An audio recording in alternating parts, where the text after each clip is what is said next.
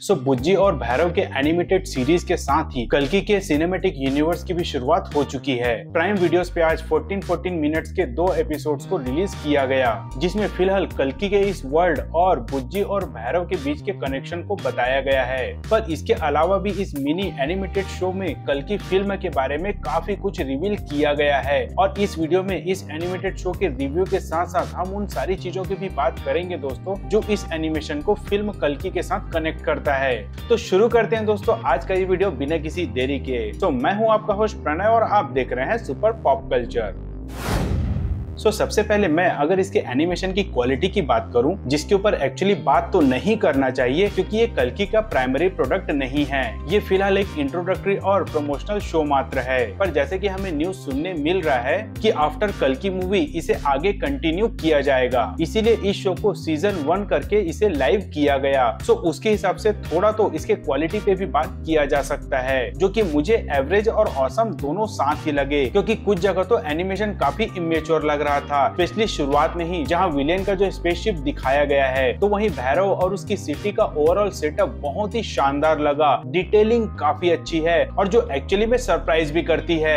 तो salute to Nag Ashwin and his creative team जो इस प्रोजेक्ट के लिए इतनी बारीकी से काम कर रहे हैं। पर यहाँ ये कहा जा सकता है कि इस एनिमेटेड शो में जो थोड़ी बहुत कमियाँ थी, उसे इसके स्क्रीन प्ले और डायलॉग्स बहुत ही अच्छे से कवर अप करते हैं, जिसकी वजह से ही आपका ध्यान इसके एनिमेशन से ज़्यादा इसके वर्ल्ड को समझ समझने में लग जाएगा। और जैसे कि मैंने कहा कि ये एक काइंड ऑफ़ इंट्रोडक्टरी टाइप का वीडियो है, जिसका काम ही लोगों को इस वर्ल्ड से इंट्रोड्यूस करवाना है। तो ये कहा जा सकता है कि उसमें वो पूरी तरीके से सफल हो गए हैं। अब अगर आगे बढ़े और इसकी बेसिक स्टोरी की बात करें तो ये एनिमेशन वैसे तो बुज्जी और भैरव के मिलने की कहानी को शॉर्ट में समझाता है, पर साथ ही ये भी बताता है कि वहाँ के लोग कैसे रहते हैं सरवाइव कैसे करते हैं, पानी जैसे बेसिक चीज़ों को कैसे खरीदते हैं डाउनटाउन और कॉम्प्लेक्स क्या है उसके बारे में भी थोड़ा सा हिंट दिया गया है। वैसे इन सारी चीज़ों को रिवील करने के साथ साथ ये थोड़ा डाउट को क्लियर करती भी है और थोड़ा कंफ्यूजन बढ़ा भी देती है। लाइक जब से इस फ़िल्म का कोर्ट नेम प्रोजेक्ट किए था, तब लोगों ने ऐसा अंदाज़ा लगाया था कि इसमें प्रभास एक फ्यूचर का वॉरियर हो सकता है विद सुपर नेचुरल पावर्स पर बाद में जब इस प्रोजेक्ट का नाम कलकी हुआ, तब ऐसा कहा जा रहा था कि प्रभास के पास एक डिवाइन पावर होगा, जिसके कारण ही वो कलकी अवतार लेगा। पर बुज्जी के टीजर के साथ लोगों का ये अंदाज़ा भी गलत हो गया।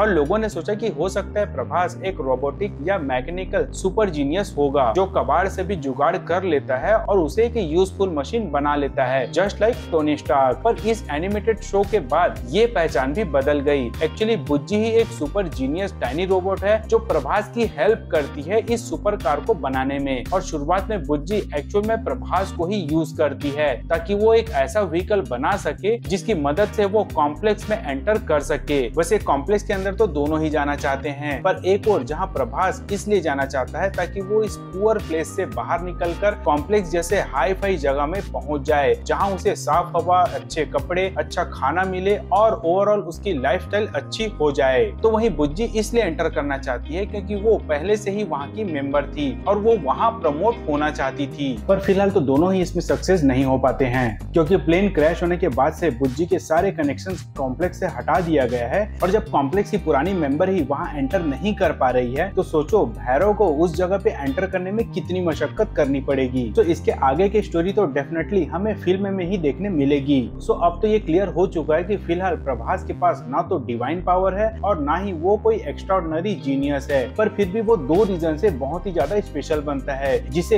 इस शो में हाईलाइट भी किया गया है। पहला ये कि प्रभास एक पावरफुल स्ट्रीट फाइटर है, जो किसी भी चीज़ को इम्पॉसिबल नहीं मानता है और जो कि इसके हर डायलॉग से समझ में भी आता है। और दूसरा ये कि भैरव बहुत ही काइंड हार्टेड होता है, क्योंकि इस सीन में वो एक बच्चे को उसके क्रिमिनल होने के बावजूद उसे बिना किसी पनिशमेंट के छोड़ देता है। हालाँकि प्रभास यहाँ थोड़ा सेल्फिश होता है, क्योंकि उसे वो स्टोन मिल जाता है, पर पुज्जी भैरव की इस बिहेव से इम्प्रेस हो जाती है, जिसके बाद वो दोनों पार्टनर बन जाते हैं। अब ये दोनों मिलकर कॉम्प्लेक्स में एंटर कैसे करते हैं और बुज्जी की एक्चुअल स्टोरी क्या है, इसका जवाब तो हमें डेफिनेटली फ़िल्म में ही देखने मिलेगा। पर जिस तरीके से भैरव का एक नॉर्मल आदमी से सुपर हीरो बनने तक का सफ़र दिखाया जा रहा है, वो वाकई में काबिले तारीफ़ है। लाइक फ़िलहाल प्रभास के पास एक इंटेलिजेंट रोबोट है, उसके पास एक सुपर कार है और अब एक मैजिकल स्टोन भी है जो आगे चलकर शायद उसके कॉस्ट्यूम का पावर सोर्स बनेगा। क्योंकि अभी तो फ़िलहाल उसके पास कोई सुपर हीरो कॉस्ट्यूम नहीं है। सो ओवरऑल बहुत टाइम के बाद ऐसा फील हो रहा है कि कोई वाकई में एक ट्रू सिनेमेटिक यूनिवर्स क्रिएट कर रहा है, जो हमें हर मीडियम में देखने मिल रहा है। अब सारा दारोमदार इसके फ़िल्म पे ही टिका हुआ है। जो कि अगर सुपरहिट या ब्लॉकबस्टर हो गई